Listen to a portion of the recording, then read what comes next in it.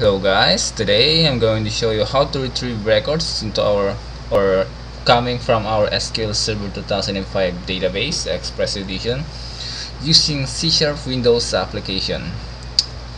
Okay, as you can see guys, I here I open my SQL Server Management Studio Express and I have my tutorial database here in my phone book table my, my phone book table I have uh, two fields here. I have one is phone number and full name and some sample records here. I'm going to show you a bit my table properties. Okay, let's see it. Oops okay. In here I have my phone number as the primary key and the data type as varchar or variable character with a max length of 50 as you can see here guys full name as the column name and the data type is also a varchar. And then okay that's it. Now let's go back into our program. Now in my program I have my program name here retrieve records C sharp. And then here is the form. Now let's design the form for a bit. Just just drag some data grid view where's that data grid view at, at the data and then drag it here.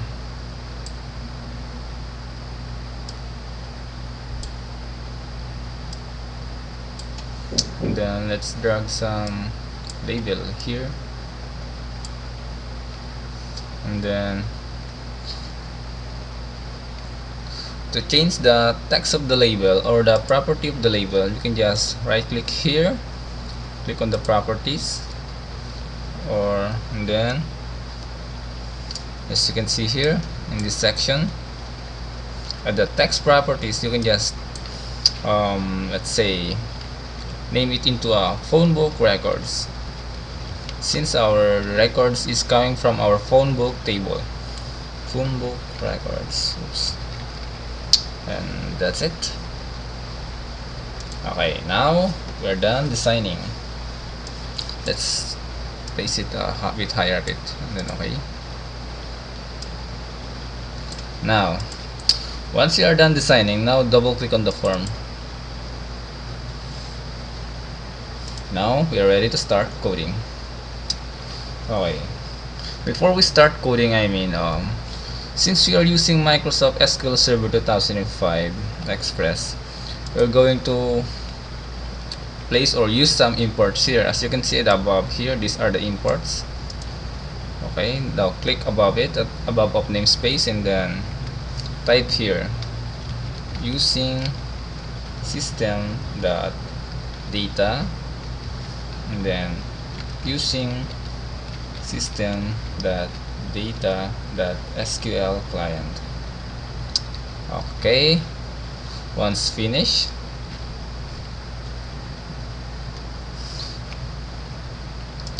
now we are done declaring our imports. Now after we're done that go above the private form1 underscore load. We're going to declare our global variable for SQL connection. Let's type here.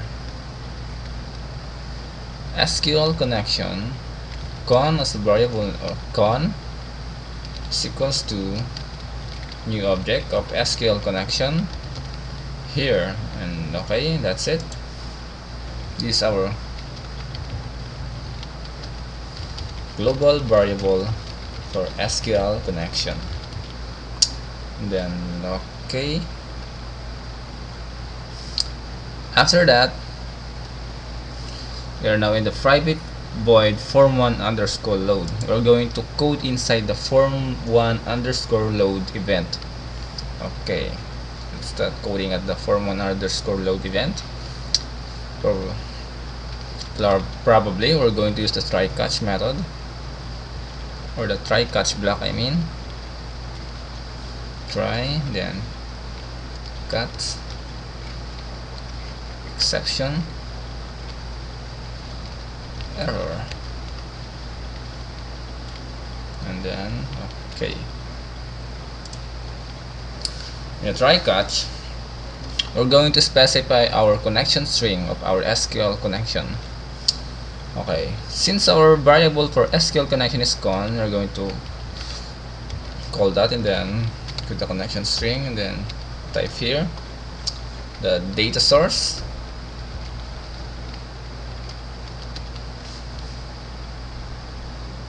The data source of our database To be use here. Akosidan dash pc then comma 1769 then the network library.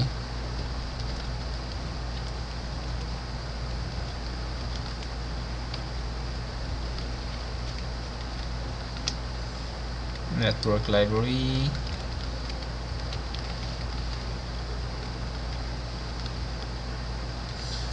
dbms SOCN the initial catalog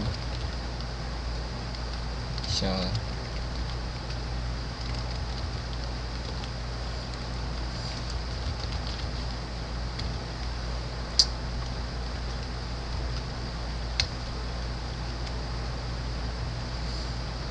user ID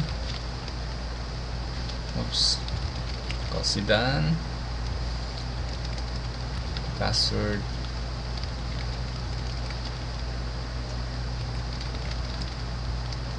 And then okay that's it. We are done specifying.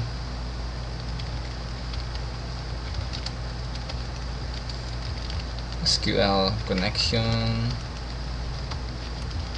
String. Okay here guys you can see in our conduct connection string, we're specifying our data source. My data source is, is my server, the akosidan-pc, and then comma is the port that I use when, let's say, my port that I use when we are connecting to our network SQL Server 2005. Oh, by the way, guys, my SQL Server is allowing to connect using TCP or IP which means my SQL connection is ready for networking. Okay if you are not familiar with this or if your SQL Server 2005 database is not allowing remote connection you can just view my other videos and you can watch how to do that. Okay and here guys my network library it is dbms soc and this is the network library we are going to use since we are using our network SQL Server 2005 and we are connecting it using TCP or IP okay here in the initial catalog as you can see tutorial as a while ago I um, a while ago I said that uh, my database is tutorial and then user ID this is my just my credentials for SQL authentication. Akosidan password and then just my random password here and then we're going to test. Con that open. I'm going to open the connection and then close it also. Alright and then in the catch block in case we have an error we can just display it using message box let's type here message box that show error that the string. Okay and then that's it. We are now done connect about the specifying the connection string. Let's test the program it is working. Then just hit the F5 or the start debugging or the click the play button here